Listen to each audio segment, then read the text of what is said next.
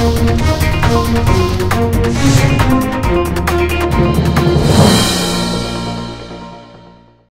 3 DPR RI melakukan kunjungan kerja ke Kejaksaan Tinggi atau Kejati dan Mapolda Jawa Timur dalam rangka pengawasan. Kunjungan spesifik bertujuan mendalami kasus dugaan penyelundupan tekstil melalui Pelabuhan Tanjung Perak baru-baru ini. Wakil Ketua Komisi 3 DPR RI Adis Kadir mengaku telah mendapat banyak masukan dan informasi mengenai penyelundupan tekstil ilegal. Salah satunya terkait kejadian penyelundupan tekstil di Pelabuhan Tanjung Perak, Surabaya yang diduga melibatkan pengusaha dan oknum petugas bea cukai. Adis meminta aparat penegak hukum turun tangan untuk menyelidiki pelanggaran hukum dalam proses impor tekstil ilegal yang berdampak pada kerugian negara dan kebocoran devisa.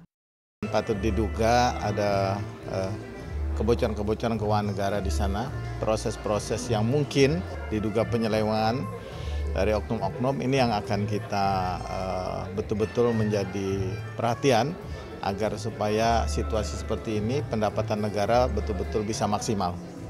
Anggota Komisi 3 DPR RI Arteria Dahlan mengapresiasi langkah cepat Kejaksaan Tinggi Jawa Timur dalam menangani kasus dugaan penyelundupan tekstil ilegal di Pelabuhan Tanjung Perak. Arteria mendukung penuh keberanian Kejati Jawa Timur masuk ke ranah kepabeanan untuk mengusut kasus-kasus penyelundupan yang berpotensi mengakibatkan kerugian negara. Ini kan nggak usah kita tarik pajak rakyat dengan melakukan tata kelola yang baik ya semuanya bisa dapat semua.